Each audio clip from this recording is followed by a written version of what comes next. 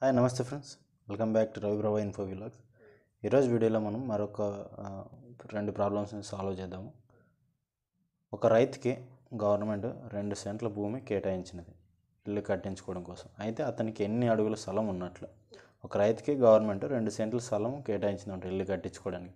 అయితే అతనికి ఎన్ని సెంట్ల స్థలం ఉన్నట్లు ఉంటుంది అయితే మనం ఇందాక వీడియోలో చూసినట్లయితే ఇంతకుముందు వీడియోస్ మీరు చూసినట్లయితే ఒక సెంట్ అంటే మనం చెప్పుకున్నాం నలభై నాలుగు వందల ముప్పై ఐదు పాయింట్ ఆరు అడుగులు చదరపు అడుగులు అని.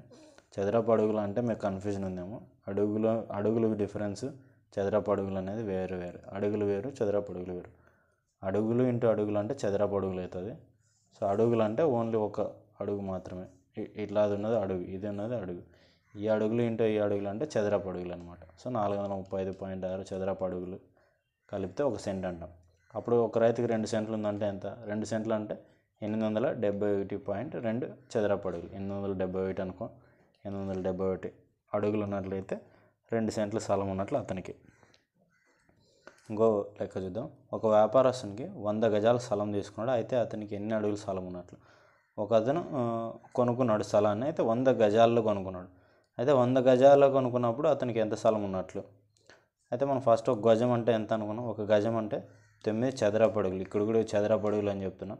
తొమ్మిది అడుగులు కాదు తొమ్మిది చదరపు అడుగులు చదరపు అడుగులు అంటే ఏంటి? అడుగులు ఇంటి అడుగులు చదరపు అడుగులు అనమాట సో వంద గజ ఒక గజం అంటే తొమ్మిది చదరపు అడుగులు అయినప్పుడు వంద గజాలంటే వంద ఇంటూ తొమ్మిది. వంద ఇంటూ తొమ్మిది అంటే తొమ్మిది వందలు.